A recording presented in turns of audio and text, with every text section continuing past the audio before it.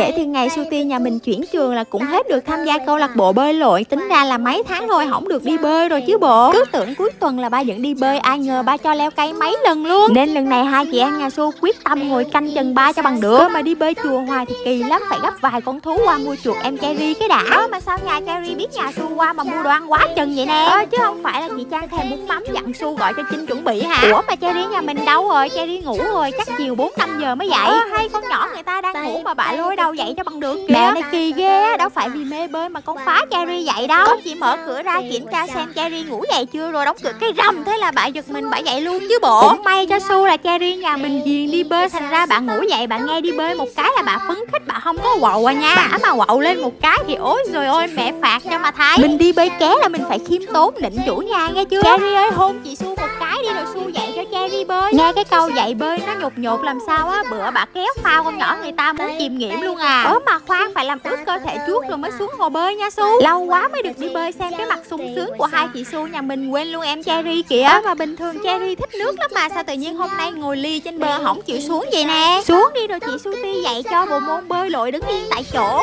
Lạnh hả?